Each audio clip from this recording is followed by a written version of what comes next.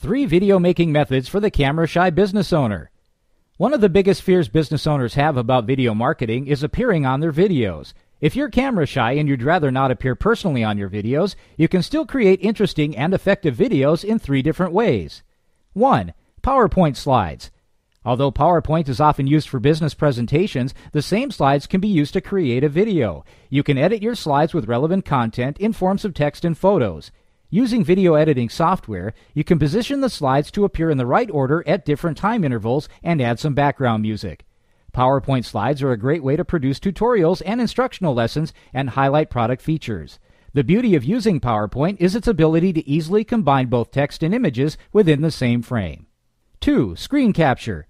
You can also create a video by capturing images of your computer screen. This works well if you're performing a demonstration of an online process, such as how to use a website, how to fill in an online form, how to make an online payment, how to use software, etc. There are both free and paid screen capture tools. Free ones include Cam Studio, Jing, and Windows Movie Maker.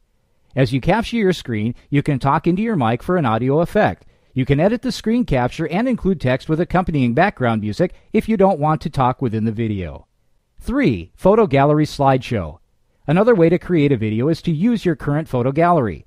Most business owners have a photo gallery full of pictures about their business premises, product lines, employees, and customers. Just pick the relevant and most appealing photos and load them into video editing software and use some background music to complete the video.